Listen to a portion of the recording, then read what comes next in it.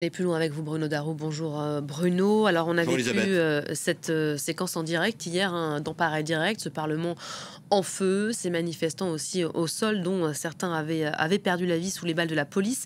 Que sait-on précisément de cette journée d'hier? On parle de chaos qui a régné de longues heures d'ailleurs à, Nairobi. On parle de 22 morts aujourd'hui selon les, derniers chiffres communiqués. La réponse aura donc été très répressive. Hein. C'est ça qu'on en retient. Oui, une réponse très, très répressive. Et le tout dernier chiffre hein, que j'ai trouvé qui émane donc de la Commission kenyane des droits de l'homme, c'est au moins 23 morts, euh, plus une situation euh, particulièrement tendue apparemment dans une, dans une ville de la grande banlieue de Nairobi, euh, la ville de Gitorai.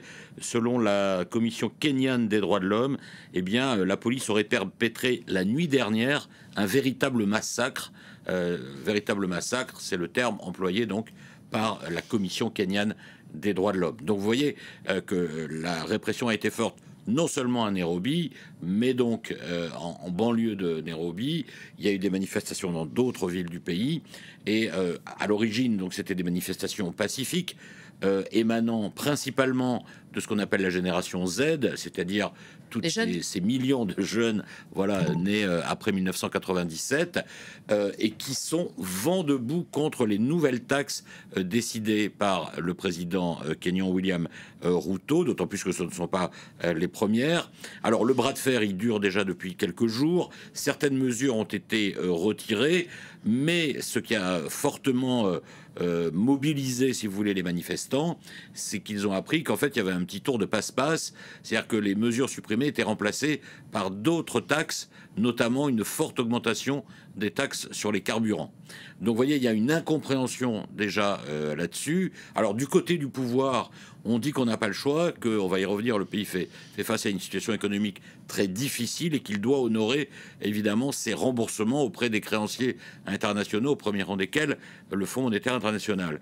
Donc euh, effectivement, à ce, au moment où on se parle, Elisabeth, le président Ruto reste très ferme et sur une posture euh, extrêmement, euh, oui, répressive, parle même d'un déploiement de, l'armée. Alors, je ne sais pas si notre correspondant a pu vérifier ça, il en parlait euh, hier soir. et évidemment, du côté de l'opposition, on condamne la brutalité policière. C'est le cas du prédécesseur de William Ruto, ou Kenyatta. C'est le cas aussi évidemment du leader de l'opposition, Raila Odinga, qui appelle au retrait de ce texte et au dialogue avec la jeunesse. Alors William Ruto a dit qu'il allait organiser euh, ce dialogue, mais ce qu'on a surtout retenu, c'est le message d'extrême fermeté qu'il a délivré hier soir. on apercevait euh, il y a quelques instants derrière vous les, images, rassemblements euh, impressionnants, non seulement à, Nairobi, mais aussi dans le reste du pays.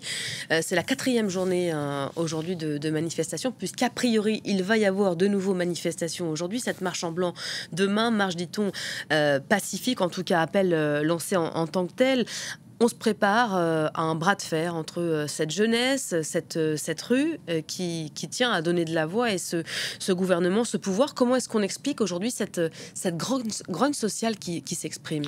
Bah, comme je le disais déjà un, petit peu, mais on va, voilà, on va entrer un peu plus dans le détail, c'est euh, la grogne sociale, elle vient du fait que euh, la situation économique du pays est très difficile. Alors, il faut savoir que le Kenya, 54 euh, millions d'habitants, est considéré, selon l'expression consacrée, comme la locomotive économique de l'Afrique de l'Est.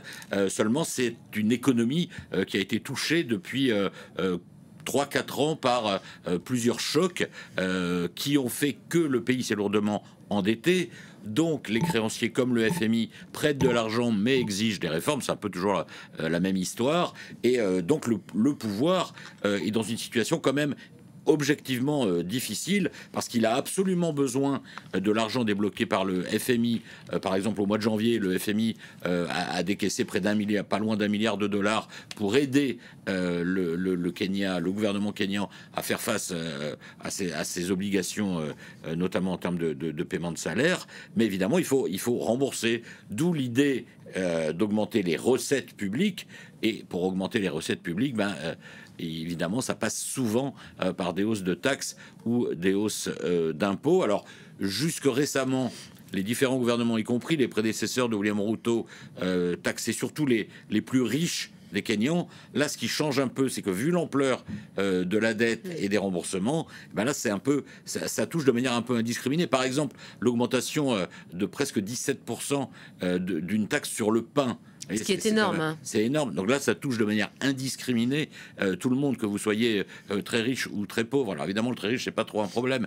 Mais les personnes très pauvres qui vivent déjà dans une situation compliquée, évidemment, le pain, de toute façon, ça a toujours été un moteur de, de pas mal de révolutions. Mais euh, donc là, voilà, c'était une mesure très symbolique. Et euh, le Kenya connaît donc une situation difficile avec une dévaluation de la monnaie, un coût de la vie donc qui a explosé avec une inflation galopante, dévaluation de la monnaie.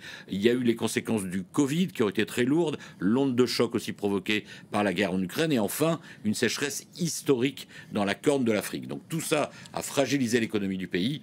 Le gouvernement et le président font ce qu'ils peuvent, mais visiblement ça ne passe pas du tout auprès de la population, en particulier auprès des plus jeunes. Merci beaucoup Bruno pour le, décryptage. Une autre euh,